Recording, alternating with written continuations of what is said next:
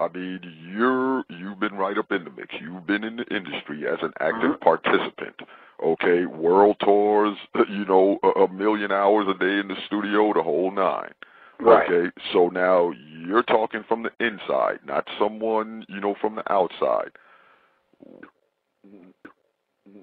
So, in his book, from the book Behold the Pale Horse, written by William Cooper, a former naval intelligence officer, in regards to a document concerning the American public, it states diversion is the primary strategy. The simplest method for securing silent weapons and gaining is to keep the public, is to keep the public undisciplined and ignorant of basic system principles while keeping them confused. And this is what these reality shows are doing. Confused about gender, confused about political, confused, confused about um, your role. You understand what I'm saying? Confused about religion, confused about politics. It says keep them confused, disorganized, and distracted with matters of no real importance. Whereas the media MEDIA, which stands for Multi-Ethnic Destruction in America, or Maniac European Devils in Action, keeps the adult population's attention diverted from real social issues and captivated by no matters of no real importance. It goes on to say, the schools are kept keep the young public ignorant of real mathematics, real economics, real law, and real history. Entertainment is kept below the sixth grade level. When you start hearing songs like Laffy Taffy and these kind of songs would hit your lower chakras and vibrate that negative energy, activating your pituitary gland, releasing those hormones. Now you got grown ass men making songs for 12 and 13 year olds. Teach, bro. I.e. Jay Z. You understand what I'm saying? So the mm. public is kept busy working, and the result is no time to think. And that's exactly what they produced. And they wrote about it inside of a book called the Tavistock Institute of Human Relations, Shaping the Moral, Spiritual, Cultural, Political, and Economic Decline of the United States by John Coleman. Now, John Coleman is the gentleman that wrote the Committee 300. And the Committee 300 is that organ uh, uh, that decide what the trends are going to be in the black community. So when you start seeing people wearing mohawks and tight pants and acting wearing two earrings and acting like women, that was manufactured and put among us. Teach, brother. Teach, brother. You understand what I'm saying? So we have to understand that. How they did it, they put they said they devised a system. Uh, and the aim of the 12 tonal system that they devised jointly by British intelligence operatives from Tavistock University or Tavistock Institute in England.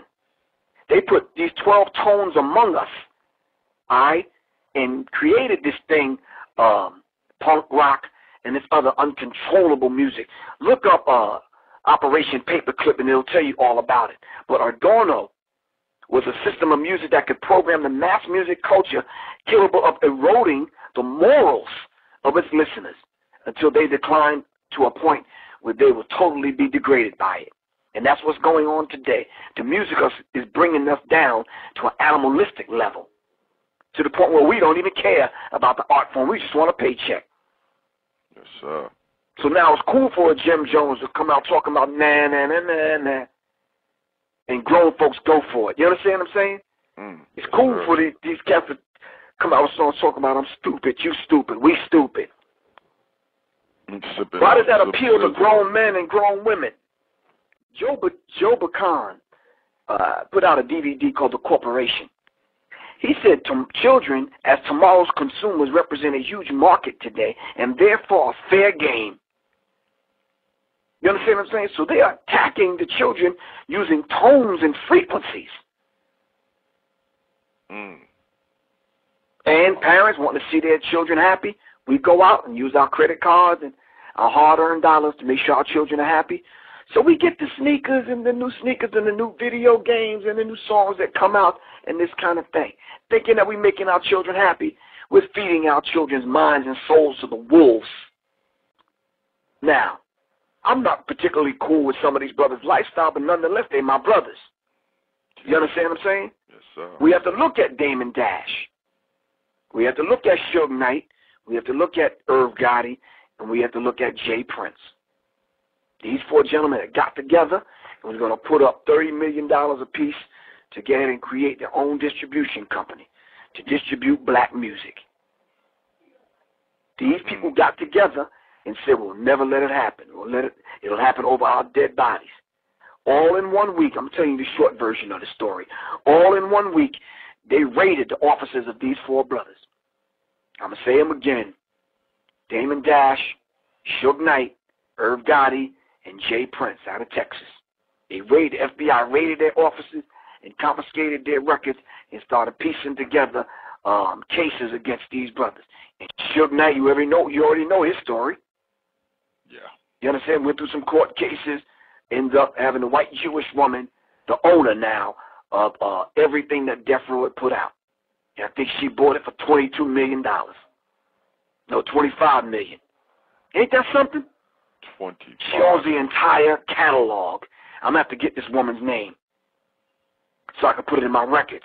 Irv Gotti, him and his brother was brought up on charges, remember? Oh yeah. Several years ago. And his, his thing was publicized because they raided his offices and tried to connect him to some mob ties and some drug dealing and that kind of thing. Thanks to your man, 50 Cent. We'll talk about that in a minute.